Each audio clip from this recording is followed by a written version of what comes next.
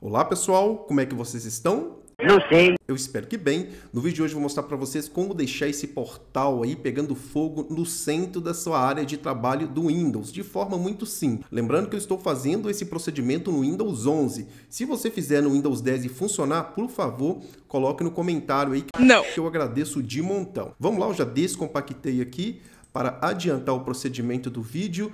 Lembrando que tem o Translude também aqui dentro da pasta, porque ele serve para deixar a barra de tarefa do Windows transparente. É opcional, você instala se quiser. Então, esses outros componentes aqui são obrigatórios. Vamos entrar aqui em fonte, já vamos instalar ela para adiantar. Botão direito em cima da mesma Sabia não?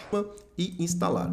Comigo aqui vai pedir para substituir, já vai informar aqui que eu tenho né, ela instalada, com você provavelmente não vai pedir isso aí, que é bem provável que você não tem essa fonte aí. Próximo procedimento é instalar o Live Wallpaper. Lembrando que tanto o Translute como o Live Wallpaper está disponível na loja de aplicativo do Windows, então você pode baixar ele aí também se você preferir. Aqui o instalador é .exe, então vamos clicar aqui para instalar o mesmo. Como eu não gosto que um programa inicie junto com o Windows, que eu já tenho muitos programas fazendo seu. isso aqui pode deixar o PC um pouco mais lento, então vou desmarcar essa opção.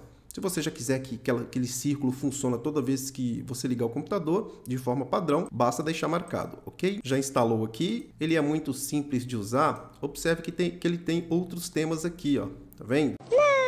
De início, a primeira coisa que eu faço é clicar aqui na engrenagem e desabilitar aqui o som, porque alguns temas têm som, então fica esquisito na área de trabalho, né? Logo depois eu vou clicar aqui em adicionar e tá vendo essa pastinha aqui, deserto? Vou jogar ela aqui no centro, ele já vai instalar ele para mim. Olha como é que foi rápido. Para eu aplicar aí na área de trabalho, basta dar um clique aqui, ó.